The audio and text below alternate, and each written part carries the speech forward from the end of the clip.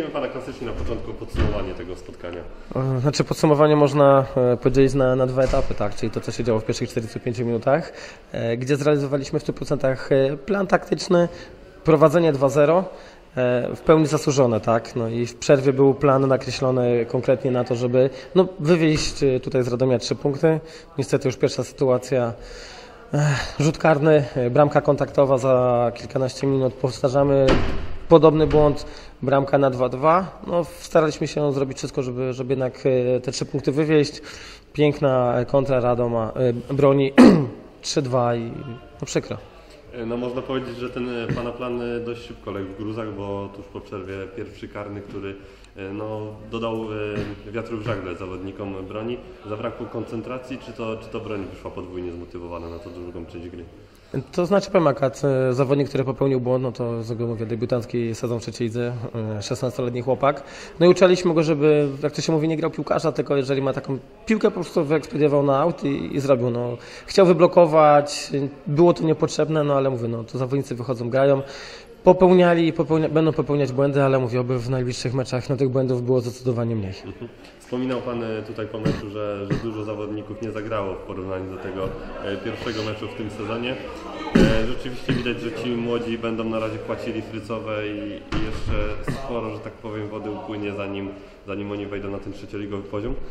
Nie no, zgadza się. Znaczy, no, nie będę się zasłaniał tym, że no, 11 zawodników jak gdyby w kadrze mamy wyłączonych, natomiast w meczu z Polonią, gdzie rozpoczęliśmy rozgrywki trzeciej ligi, wyszło dzisiaj tylko trzech zawodników, także e, bardzo duża przebudowa jest jak gdyby personalna w e, każdym meczu i, no, i w jakiś sposób pozostawia to troszkę ślad na, na, na, na jakości. Natomiast jeżeli chodzi o tych młodych chłopaków, no to fajnie, że, że pokazują, że, że, że mogą grać, że ten poziom trzeciej ligi gdzieś tam ich e, nie przerasta i, i nie przeraża, no ale mówię, jakieś takie braki doświadczenia, ich indywidualne błędy, tak jak przy pierwszym czy przy drugim rzucie karnym, e, no powodują to, że rywal to skrzętnie wykorzystuje i, i dzisiaj zamiast cieszyć się z trzech punktów niestety wracamy no, na tarczę, co jest, no mówię, no przykre i dla mnie i smutne.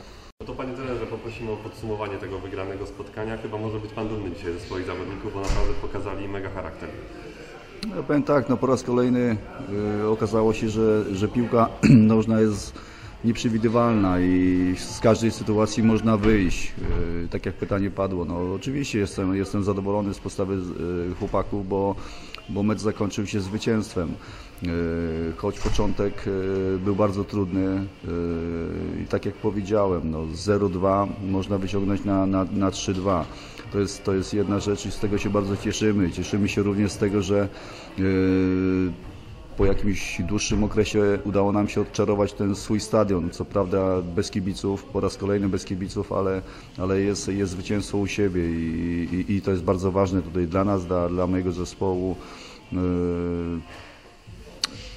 cierpliwie pracować dalej, wyciągać wnioski, bo ten zespół, ja po raz kolejny powtórzę, że ten zespół stać na, na, na dobrą grę, na wygrywanie z każdym. Y, Po prostu musimy, musimy jeszcze wiele elementów poprawić, natomiast, y, natomiast jest zalążek do tego, żeby, żeby coś było na, na dłuższy okres, y, coś na trwałe.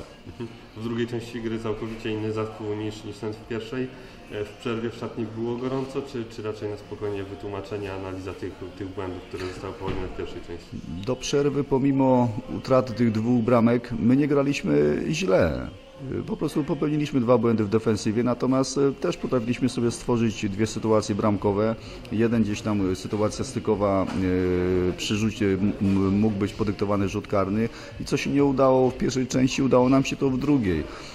Także, także tutaj Y, Ja uważam, że rozegraliśmy dobre zawody z trudnym przeciwnikiem, bo bardzo niewygodnym przeciwnikiem, ale tak jak powiedziałem na początku, no piłka jest taka, że, że nie trzeba się poddawać nigdy, trzeba wierzyć y, w siebie przede wszystkim, w swoje umiejętności. I dzisiaj to zespół pokazał w drugiej części, że ze straconej pozycji wychodzimy, wychodzimy y, wcale nie w gorącej takiej atmosferze y, w przerwie, tylko, tylko w pracy nad, nad świadomością, nad psychiką tych zawodników, że ten mecz się jeszcze nie skończył. I to przyniosło skutek w postaci zwycięstwa. I tak jak powiedziałem wcześniej, cieszymy się bardzo i, i oby zatem ten mecz zapoczątkował y, jakąś dłuższą serię y, dobrych i zwycięskich meczów, ale, ale, ale w tych czasach w tej okoliczności, jaka, jaka w tej chwili panuje, no, czekamy na, na, na decyzję, czy po prostu rozegramy następny mecz, bo, bo, bo godziny mijają i, i- i trzeba się spodziewać, yy,